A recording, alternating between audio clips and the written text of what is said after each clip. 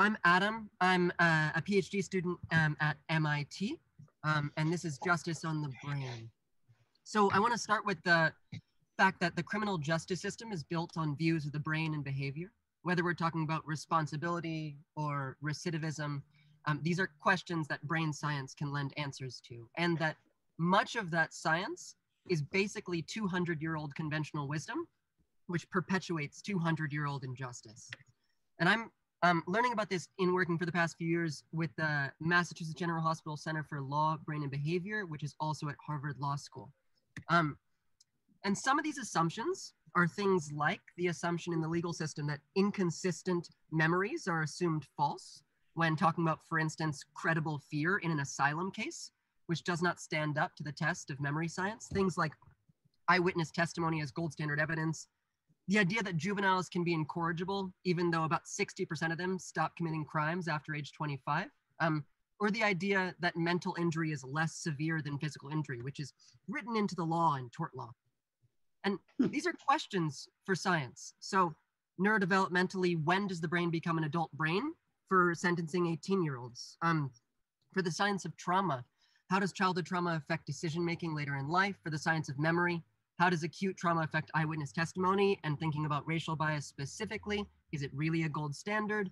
And then thinking about brain imaging, does solitary confinement cause brain damage? And so right now, I'm working on what's called an amicus brief, writing for a federal judge about whether uh, solitary confinement causes brain damage and thus is an Eighth Amendment violation. Um, and I'll say that this is not rare. Um, 10 to 12 of all US murder cases and 25% of death penalty trials feature uh, neurological evidence. Um, but importantly, a lot of this is not great evidence. So for instance, here's no lie MRI, which is quite literally a lie detector using MRI. And there's also many tests for uh, chronic pain. So this is a, a space where scientists need to chime in on good science and on pseudoscience.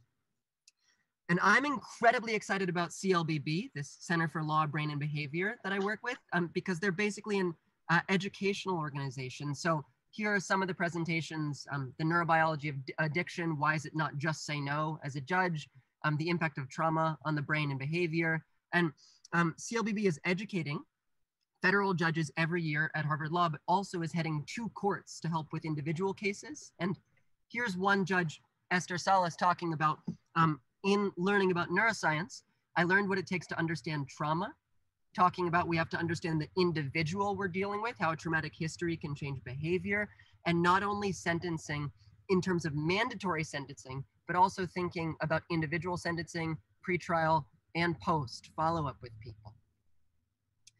And CLBB is putting together a science of late adolescence resource library so that any judge in the country who has a 16 or a 17 year old in front of them and is deciding whether or not to consider juvenile life without parole can learn about things like executive development and the frontal cortex, immaturity, traumatic childhoods, drug addiction, and their influence on behavior, and whether they should or shouldn't be mitigating factors, and whether they should or shouldn't think that that juvenile is literally incorrigible for life and can never, never be rehabilitated, um, which the science suggests is not true. So for the scientists here, um, I want to say that amicus briefs to a federal judge can change federal law. That white papers, if you change one judge's opinion, like Esther Salas, literally save lives. That the experiments you choose to do are being used when memory scientists are compiling the science of memory to talk about traumatic memory in the courts and decide whether a fear is credible for an asylum case. Your research is being used, and that brain science is really a justice issue. This is new for me as a brain science student, I, I have not thought that I had any relevance to the criminal justice system and I have felt powerless to change it. The last five years have really shifted that for me.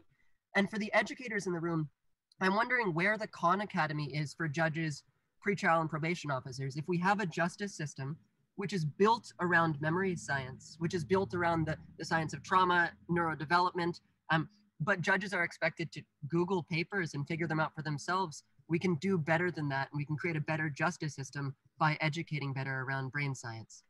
Um, I want to say that CLBB is uh, run by some amazing people. Um, uh, Judy and Francis and Judge Nancy Gertner and Dr. Lisa Feldman Barrett, who I'm sure many of you know, Robert Kinscherff, Silda Wall Spitzer, and Bruce Price. Um, and I really encourage you, if you're anywhere near the brain sciences or just want to support, check out clbb.org. Um, they need as many scientists as they can get to write these white papers up for judges, pretrial and probation officers.